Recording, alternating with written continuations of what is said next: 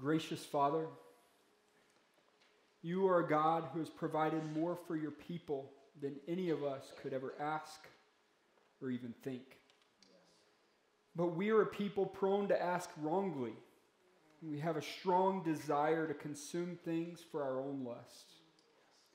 We're so easily confused. We confuse our wants and our needs. We ask you for what we want instead of asking you to give us what we need. Yet you still invite us to this feast. And we still find a table, and that table is spread with everything that we need. That causes us to humbly wonder of all people, why did you choose me to be a guest at your table? Why was I made to hear your voice? Why was I made to join this feast? While so many around us have made a damning choice and would rather starve, perishing in their sin. So we humbly thank you, Father, that you sweetly drew us in. We acknowledge that if you had not, we would have refused to taste at this feast, and we also would have perished in our sin. So now our prayer is that you'd send your conquering word abroad that you'd open our eyes to see our need for the soul food that you'll provide in these moments. Help us in our hearing. Make us understand what we hear. Convict us of sin and give us victory over it. Strengthen the weary. Caution the self confident. Stop our self gratifying efforts and grow our faith. This morning, bring the stranger home. In Christ's name we pray. Amen. Our text today is Colossians chapter 1, verses 3 through 14. If you took the time this week to read this text, you may have wondered why are we stopping at verse 14? As you read it, you may have sensed the natural build here, the ramping up towards something big, something monumental. Kind of like when you're, you're flying into New York City and you're looking for something the Statue of Liberty. Today, we're interrupting the flight, stopping just short of the towering monument of Colossians 1. But I pray this will help us today in our understanding. Have you ever said something to someone and you wanted it to feel meaningful, but for whatever reason, when you said it, it felt small, insignificant, or like it offered little to no help at all? Maybe you said, Well, I hope things get better. I love you. But as you said it, you thought, I don't know what good that did for them, for someone that's weeping over loss. Maybe you said, I'm praying for you, and wondered, what strength will those words give them as they battle this chronic illness? With hands chained to the floor of his stone cell, I hardly think Paul felt that he was offering up an empty expression, simple pleasantries, or just another word of affection toward this church. He's not minimizing the situation that the Colossians are in. He's not trivializing their circumstances by saying, Hey, I'll pray for you. Paul's prayer is not empty. Rather, it's weighty, it's filled with intentionality, filled with deep theology and purpose. Paul's actually never been to Colossae, but he is certain that his prayers have been there. You realize this morning that your prayers can go where you can't. You can even pray like Paul for people that you've never met. But why is Paul praying for them?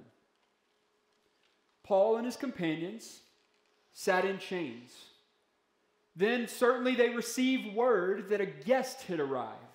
Their guest was named Epaphras from Colossae. Now, it's likely that he and Paul knew one another from Paul's time in Ephesus, which may be the place where Epaphras was converted. I'm sure they greeted one another upon arrival, not just with a handshake, because brothers got a hug, and then they followed it up, I'm sure, with a holy kiss. But Epaphras came not just to greet Paul, he came with a purpose and with a message. His message, Paul, I'm here to tell you of the danger that's looming in Colossae. Some pretty weird teaching is going on. People are saying that there's a, a, deeper Christian experience, one that goes beyond the knowledge that's from God, and it can only be reached by a mixture of philosophy with spiritual powers and some human tradition. Now, if that's all that Epaphras had said, it would have been enough to drive Paul to prayer for the Colossian church. But in our text, we find another launching point for Paul's prayer. Epaphras' report to Paul contained more than a concern for his people. He also included with that a report that guided Paul's prayer for this church. The same report that we'll look at today should serve to direct us and to motivate us in our prayers today.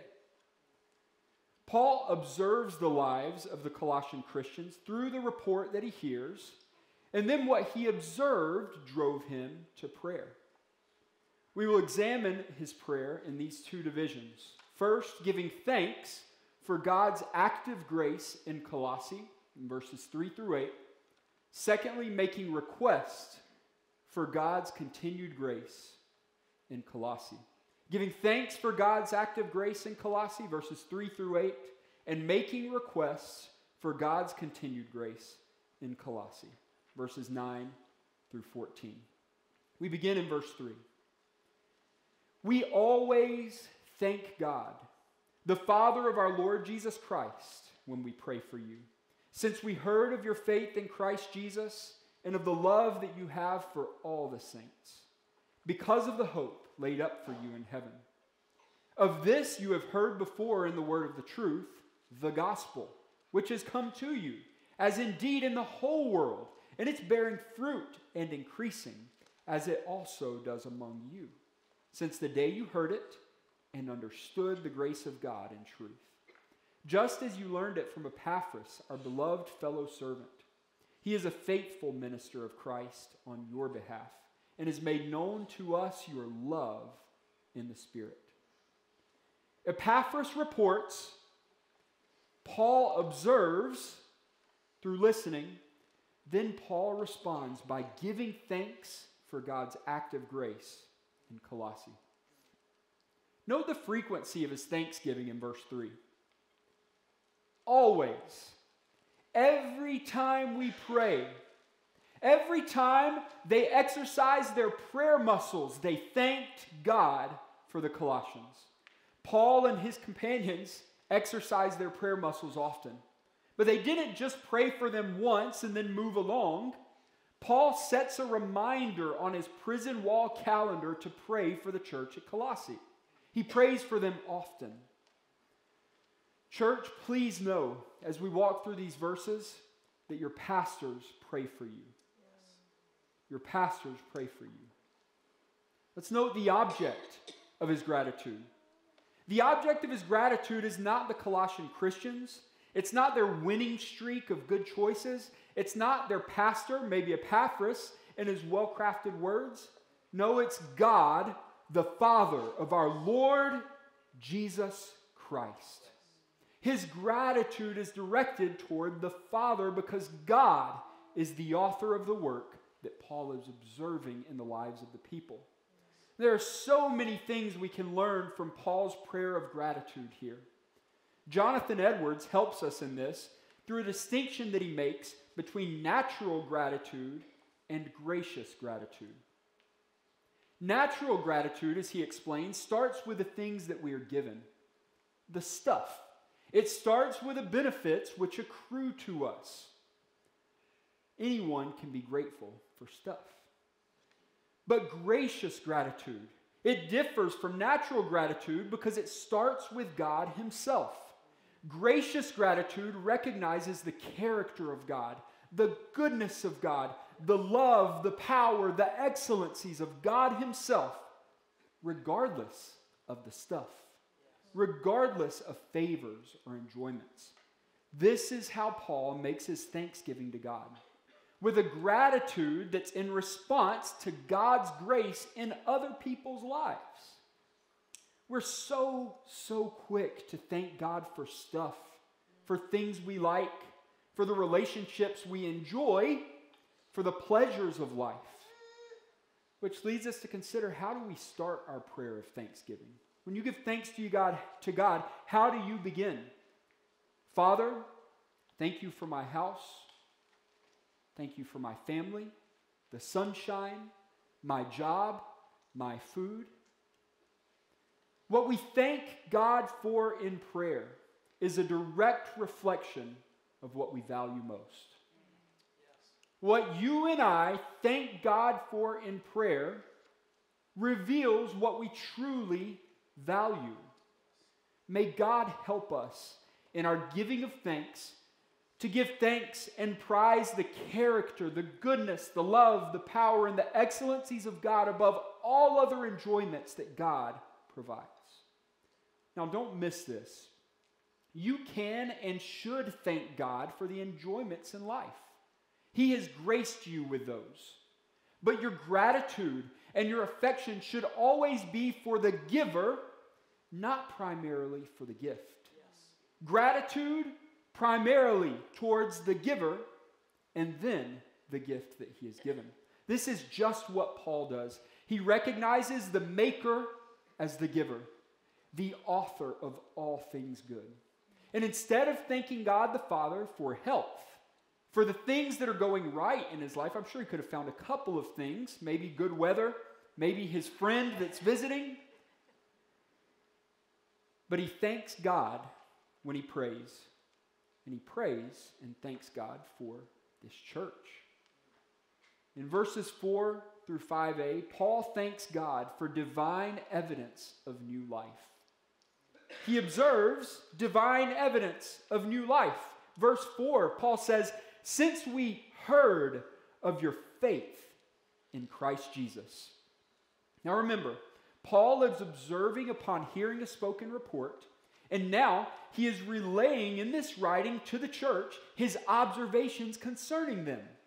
These evidences that he lists are observed in the Colossian Christians, and they should be observed in us today. All that he observes in this church should be observed in us. First, he observed their faith in Christ Jesus. Now, Paul isn't saying, I've heard that you've acknowledged a few facts. I've, I've heard that you've checked the right boxes.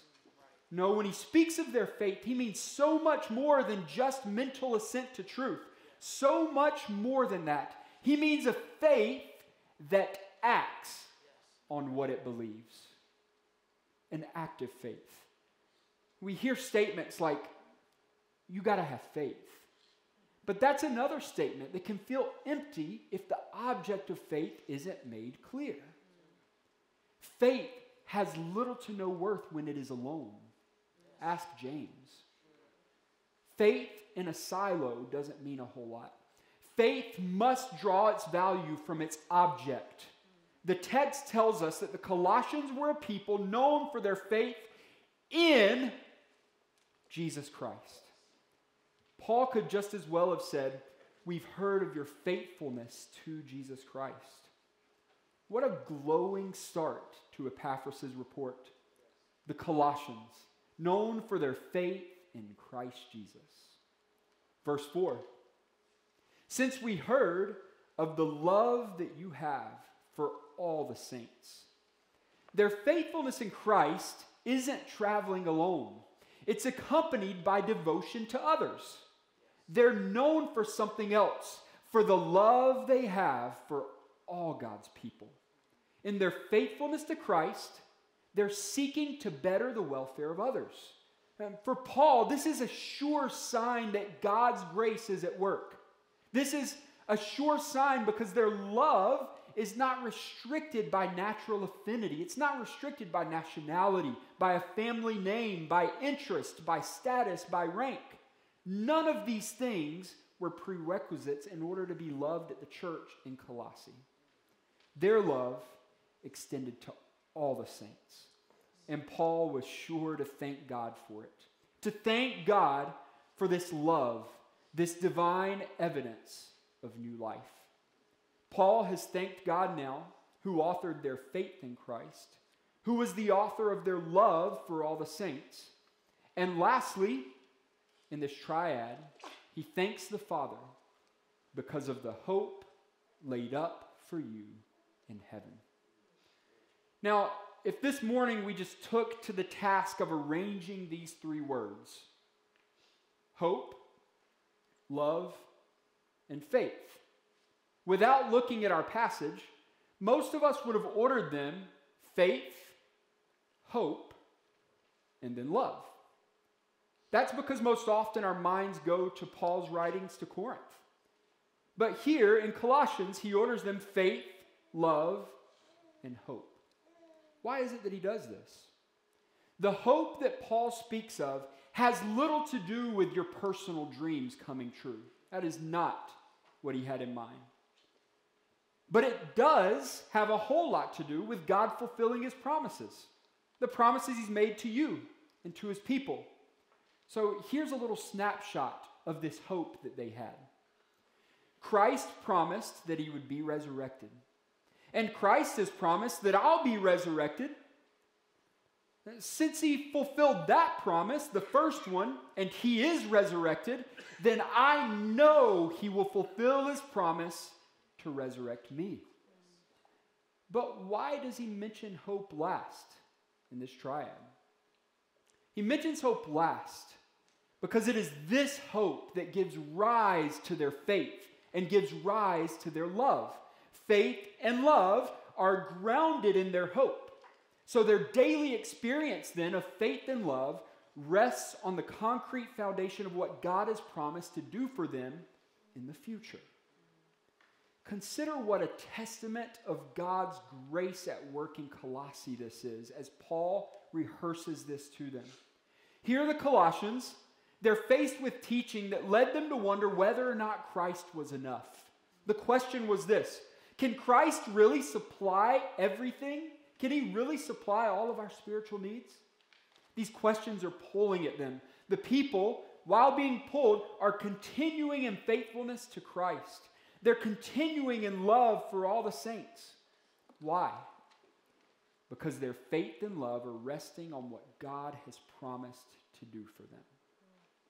The Colossians receive this encouragement from Paul as he says, What in its fullness lies in front of you has already become active in you. God has begun a good work in you, and He guarantees you that He'll complete it on that day. So the triad of faith, love, and hope are evidence of God's work in their lives. How, though, have they obtained this hope? In Ephesians, we're reminded that without Christ, we were lost and we were without hope.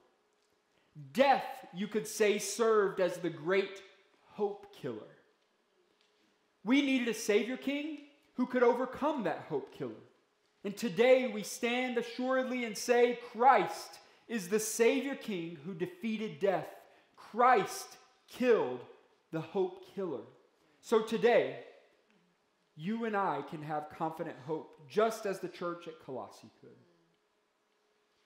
In a world where hope goes to die, or hopes go to die, our hope as Christians is alive, fueling our faith and love. Our hope is real because it's inseparably fixed on the real thing the resurrected Christ. Our hope is alive, and our hope is fueling or generating our faith and love. Our hope is real because it's fixed on the real thing the resurrected Christ. Our steadfast hope should be evident. Evident in what? It should be evident in our active faith and in our active love. Like the Colossians, we should be living a life that is future aimed, or as J.I. Packer called it, the forward tilting life. That is what the gospel does. It transforms us and it reorients us toward heaven. Hope awakens faith, and faith awakens love. So we should, with Paul, give thanks to God for faith, for love, and for hope in the lives of God's people. The divine evidence of new life in Colossae. Now, Paul gives thanks for the divine increase of gospel fruit. In verses 5b through verse 8, he says, Of this you have heard before in the word of the truth, the gospel. What had they heard? They had heard the true message, the truth, the gospel, the word of truth. They heard the true word. This word heard reminds us of God's chosen people. When God spoke, Israel listened. When God spoke in Colossae, Colossae listened. But Paul says in verse 6 that they didn't just hear it. No, they also understood the grace of God and truth. They didn't go on a truth hunt. No, their starting point was the truth that had been spoken to them. When it was spoken to them, they soaked up the hope of this gospel. They acted on this gospel, on the word of truth, by living in obedience to it. The church at Colossae heard and understood the gospel. They heard and understood the good news that Christ died for their sins, according to the scriptures. They heard and understood that Christ was buried and raised on the third day, in accordance with the scriptures.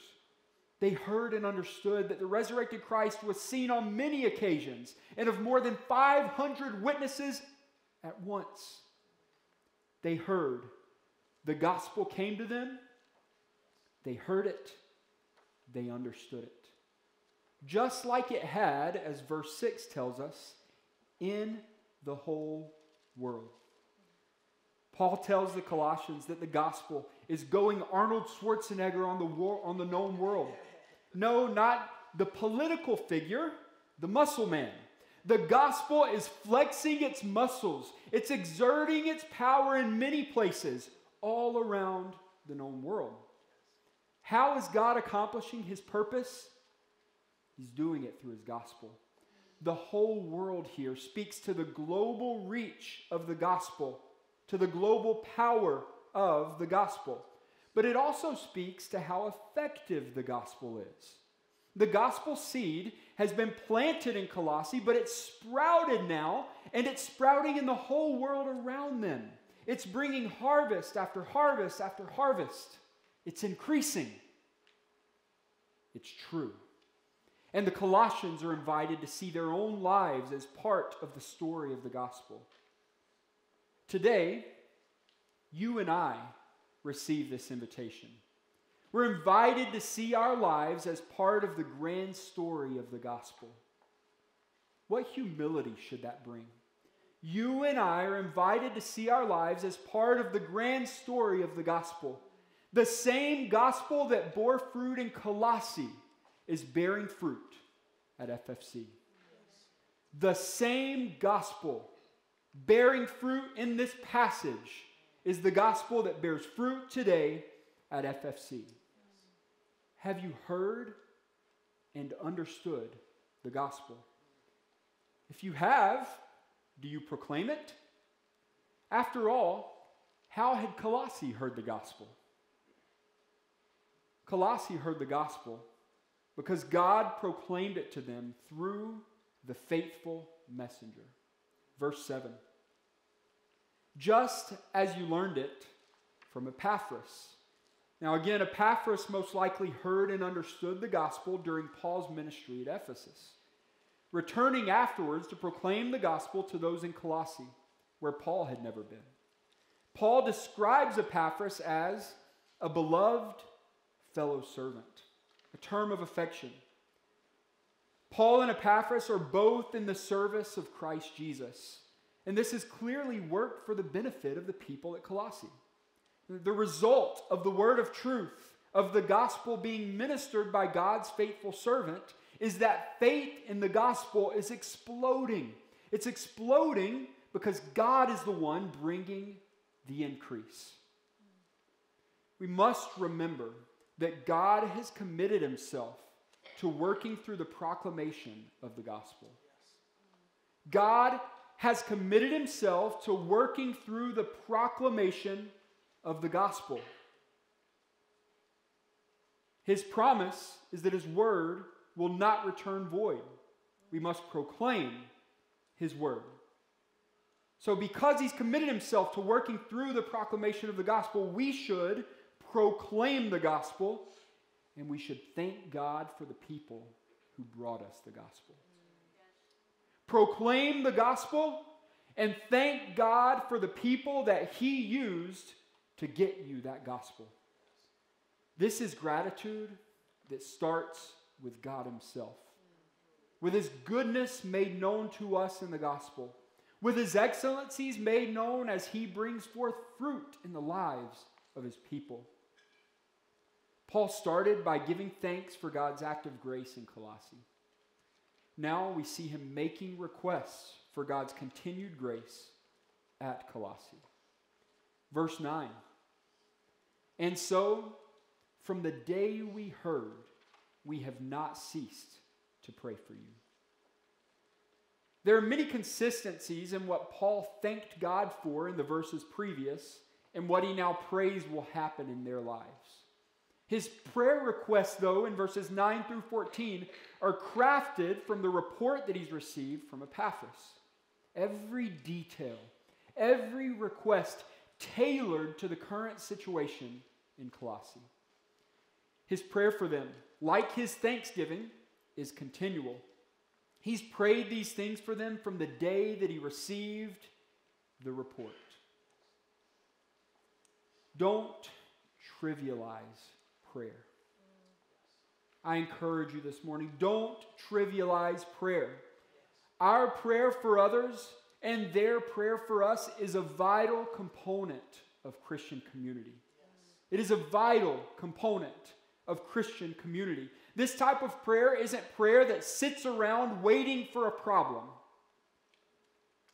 Ask yourself this question Do I pray reactively or proactively? Honestly, do you pray only reactively or do you pray proactively? Proactive prayer is what Paul is doing for the Colossian Christians. He is both reactive, he's received a report, but he is both not just reactive, but also proactive, praying for what will be in Colossae.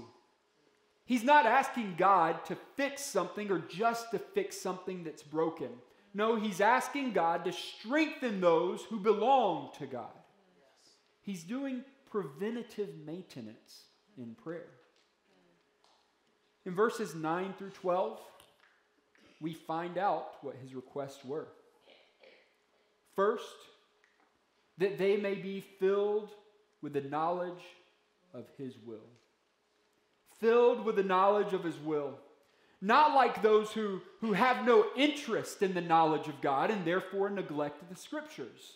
Not like those who bypass knowledge and are looking for some experience. Not like those who they like knowledge but they neglect the implications of that knowledge. Paul knows that a true knowledge should always inform our way of life.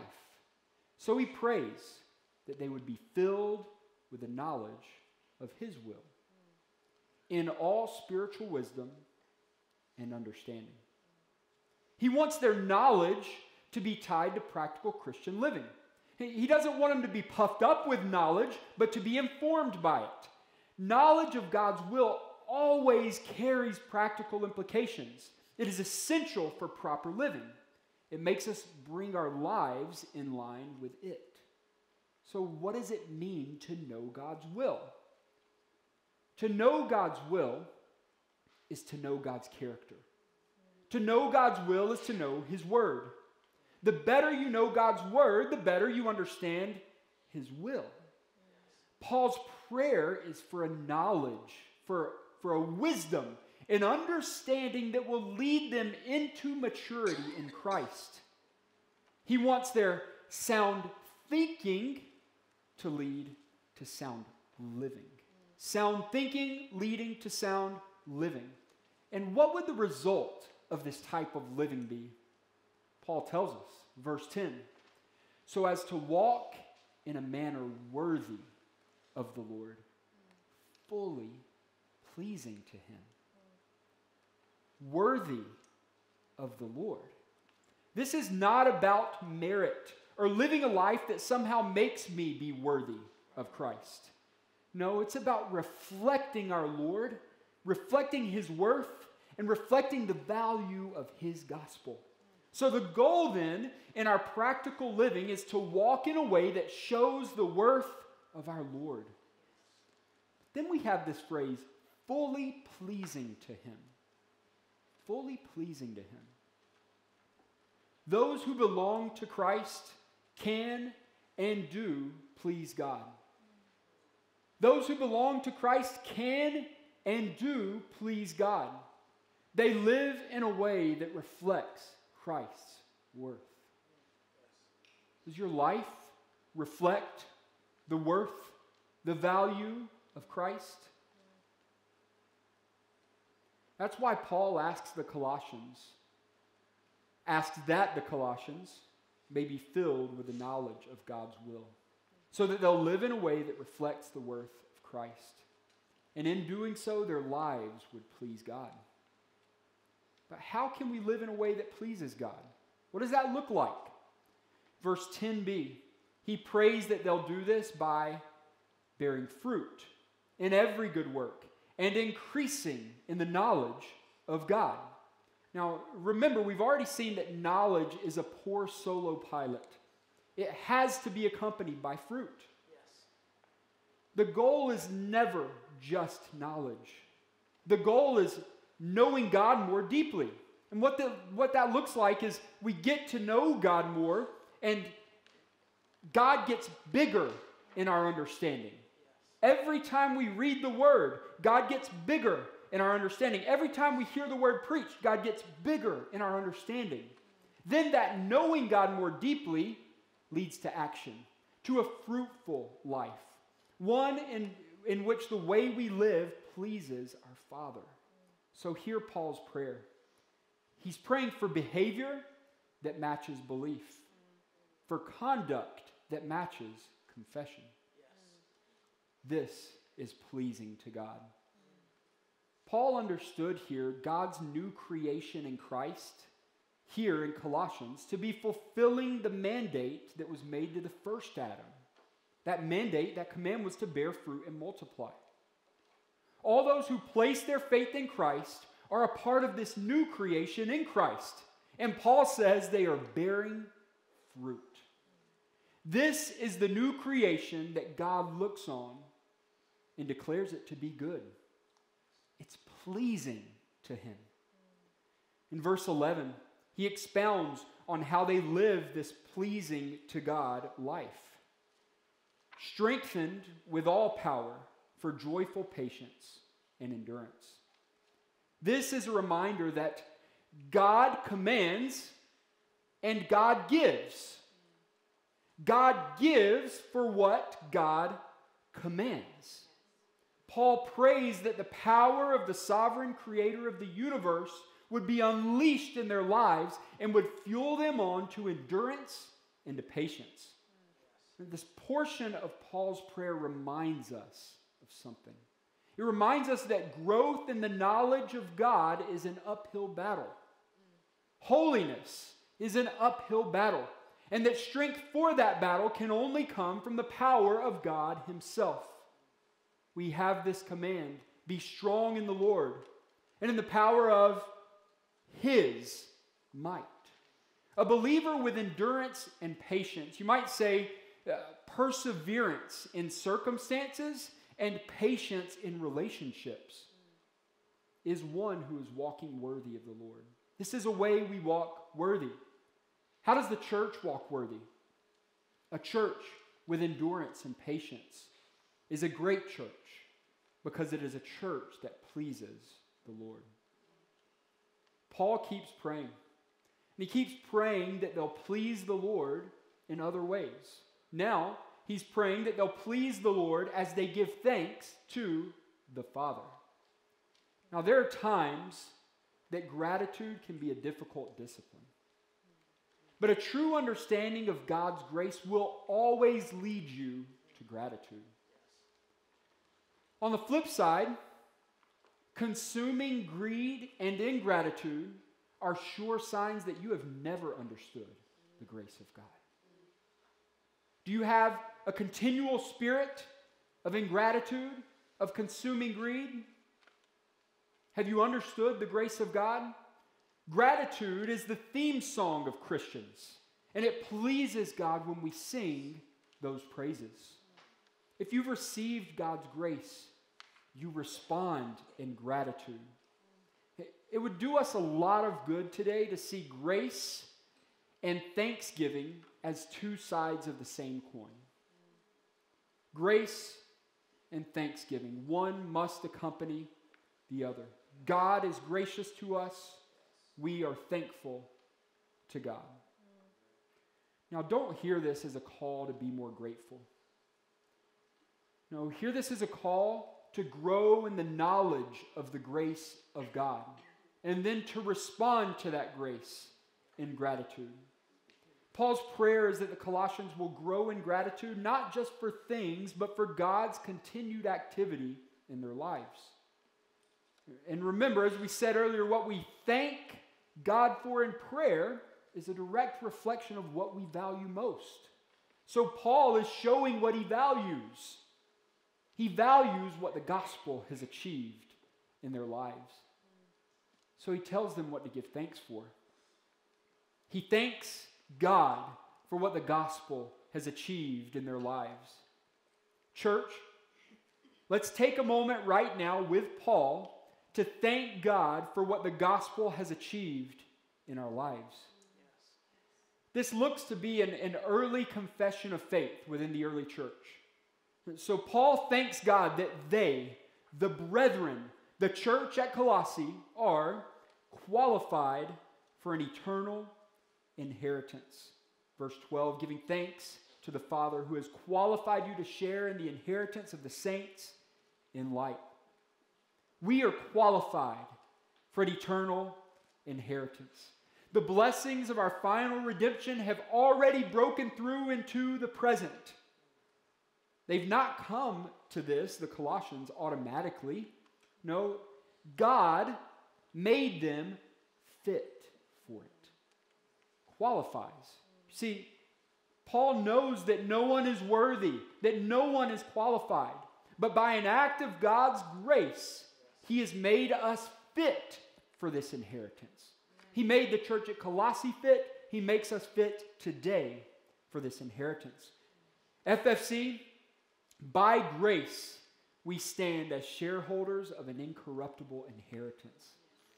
The blessings of that inheritance are already being poured on us. We're seeing it in Colossae. That is true for us today we have an incorruptible inheritance. We're qualified for this eternal inheritance. And then he goes on and he says, We're delivered from the domain of darkness. FFC, we have been delivered from the domain of darkness. The domain of darkness is, is like Lewis's fictional land of Narnia, where it was always winter, but it was never Christmas where evil ruled, where wickedness thrived. The domain of darkness is everything that captures the world, that binds it, and that attempts to strike down God's rescue plan. Now, it's possible that the Colossians were being told that they, as a church, were still prisoners to the domain of darkness, but that they needed something other than Christ to fully deliver them. Paul says, no. No. Evil may have had its short moment of opportunity against Christ, but it was only a short moment and it ended in evil's defeat. Christ raided the kingdom of darkness and he's rescued those who were bound by sin's chains. If you're here today and you have not repented of your sin, you are still under the domain of darkness. And know this. You have to know this this morning. The prince of darkness is a harsh ruler. If you have not heard and understood the gospel, then you have not been rescued from the domain of darkness. You have not been rescued we would say from the judgment of God. The prince of darkness cannot save you from the wrath of God. So today, believe on Christ and exchange the harsh rule of darkness for the wise sovereignty of God's Son. He continues his statement. He says that they have been transferred into the kingdom of the Son he loves. FFC, we have been transferred into the kingdom of God under the sovereign rule of King Jesus.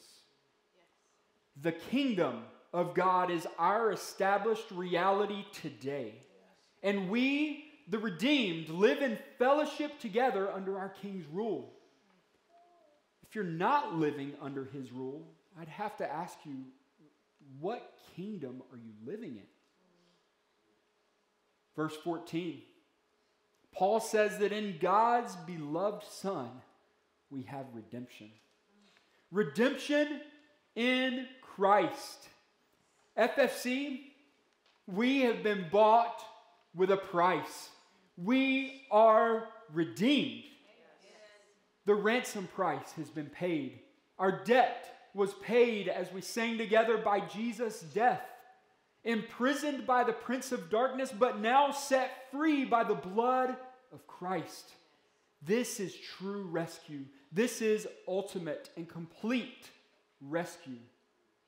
Verse 14 In whom we have redemption, the forgiveness of sins.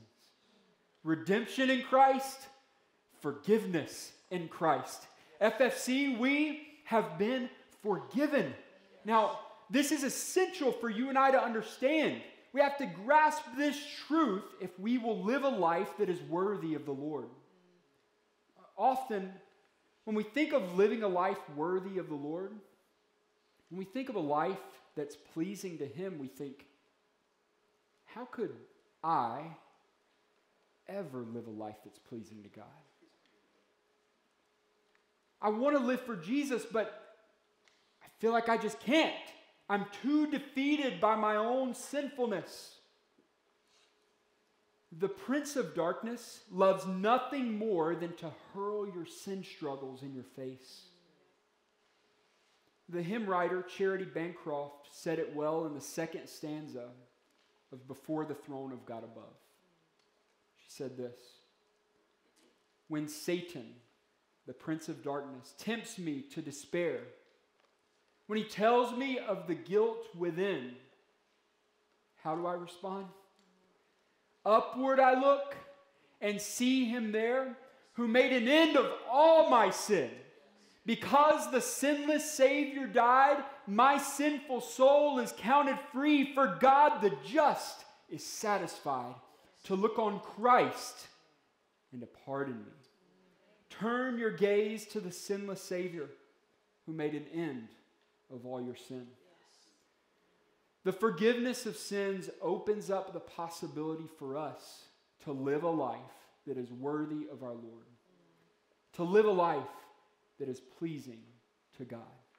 The forgiveness of sins opens up the possibility of living a life pleasing to God. And we've walked verse by verse through this portion of Paul's prayer this prayer crafted for the church at Colossae. We saw him giving thanks to God for, his, for God's grace at work in Colossae. We know that the gospel was proclaimed and that the gospel bore fruit. We also saw, saw him making requests for God's continued grace to work there at Colossae.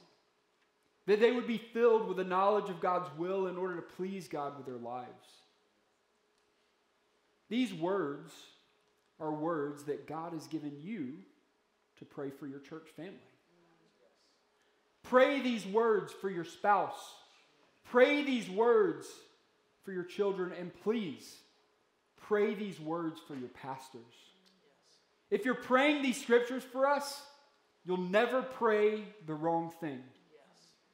So, as we pray for one another, may there be riches behind those words praying for you. May there be, may there be great depth behind the words praying for you.